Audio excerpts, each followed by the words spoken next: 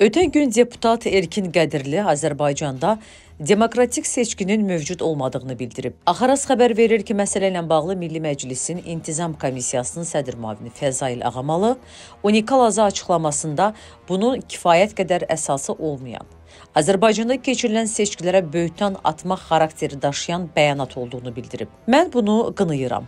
Onun fikirlərini rədd edirəm, çünki bunun əsası yoxdur. Bu açıqlamanı böyük rəqabətlə və çətinliklə Milli Məclisin deputat mandatını qazanan millət vəkillərinə atılan böhtan kimi qiymətləndirirəm. Məsələ Milli Məclisin rəhbərliyi tərəfindən araşdırılacaq. Əgər ehtiyac yaranarsa və bununla bağlı Milli Məclisin İntizam Komissiyasına müraciət olunarsa, komissiya bu məsələyə baxaraq öz qərarını qəbul edəcək deyə o qeyd edib.